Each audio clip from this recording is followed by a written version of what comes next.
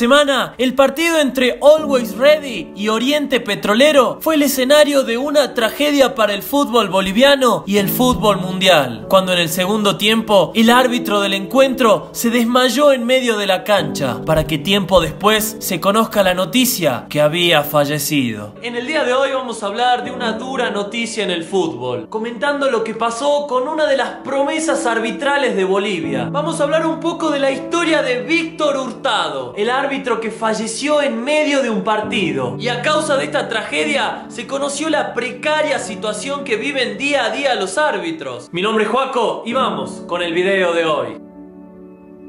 Esta es la historia de Víctor Hugo Hurtado. El árbitro, nacido en Cochabamba, Bolivia, de 28 años, había comenzado su carrera en el arbitraje a los 18, empezando en las categorías menores del balompié bayuno. Antes de dedicarse profesionalmente al arbitraje, vivió un tiempo en el alto, trabajando de muchas cosas para que no le falte nada a su familia, hasta que le llegó la gran noticia de debutar como juez en primera división. Era un sueño para él. Víctor era un árbitro disciplinado que entrenaba duro semanalmente, no consumía bebidas alcohólicas y gozaba de una excelente salud. Era responsable y muy justo, pero también cuentan que Hurtado era muy gracioso y bromista. Disfrutaba de hacer bromas todo el tiempo para romper un poco el hielo y la tensión en los vestuarios, donde también dicen que les cambiaba el humor a todas las personas a su alrededor. Era una persona muy querida por el fútbol boliviano y hasta inspiraba con su pasión con la que vivía su trabajo y el deporte. Hurtado, además, tenía el sueño de ser abogado, por lo que en sus ratos libres se dedicaba también a estudiar, estando a solo dos años de recibirse, donde cuentan que este año tenía la gran meta, tras sus buenas actuaciones en la cancha, de buscar la licencia FIFA para poder dirigir internacionalmente. Víctor contaba con una pequeña pero linda familia,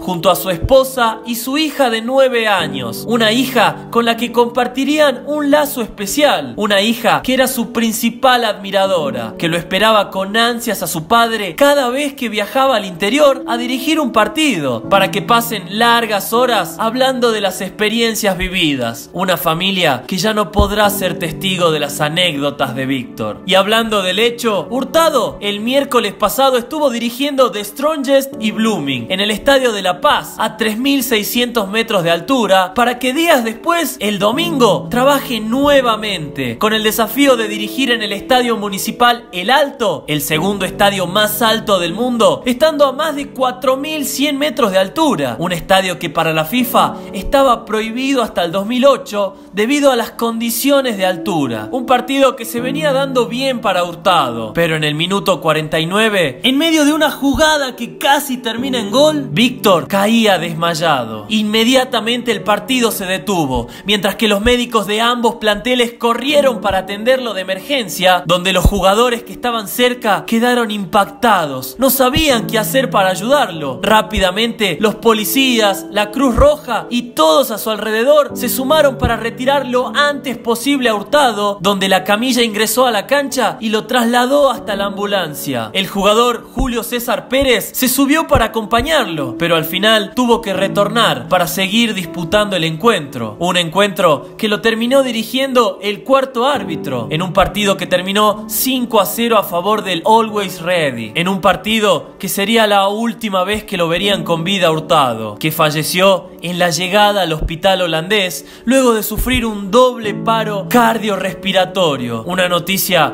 durísima e inesperada, ya que cuentan sus cercanos que nunca había sufrido problemas del corazón y antes del partido no se había quejado de nada. Es más, cuentan sus colegas que bromeaba en el entretiempo. La noticia la confirmó el árbitro Méndez, que estaba dirigiendo el clásico de La Paz entre Bolívar y The Strongest, que no quiso iniciar el segundo tiempo hasta conocer qué pasaba con su colega. Finalmente, al conocer que había fallecido, dio un minuto de silencio antes de arrancar la segunda parte. En el día lunes, los restos del ex árbitro se trasladaron a su natal Cochabamba para que sea velado por sus familiares y amigos. Todos estos gastos lo pagaría la Federación de Fútbol Boliviano. Aún así, muchos opinaron que la muerte de Víctor era causa de jugar en la altitud, cosa que el presidente de la federación desmintió y ofreció médicos especializados para la autopsia. También se habló del informe preliminar, donde dice que Hurtado falleció por muerte súbita, que es la aparición inesperada de una parada del corazón que le llega a cualquier tipo de persona a cualquier edad, algo que muchas veces se puede evitar con gente especializada en la reanimación cardiorrespiratoria, hecho que deja muy mal parado a los médicos del fútbol boliviano. Aún así, esta tragedia también destapó la pésima condición laboral de los árbitros, donde se sumó el testimonio de un secretario de la Asociación de Árbitros que describió toda la situación que viven los jueces de Bolivia y de varios países latinoamericanos, sin un seguro de vida, algo que vienen pidiendo desde hace muchos años, sin contar la falta de interés del examen médico de los árbitros, examen que tienen que hacerse por cuenta propia sin ningún apoyo económico de la Federación de Fútbol de cada país. Y para cerrar, el secretario le pidió a la Federación Boliviana de Fútbol que cuide más a los árbitros, que mejoren los médicos del fútbol y que indemnice a la familia de Hurtado, debido a que falleció cumpliendo su tarea como árbitro. Sin lugar a dudas, una triste historia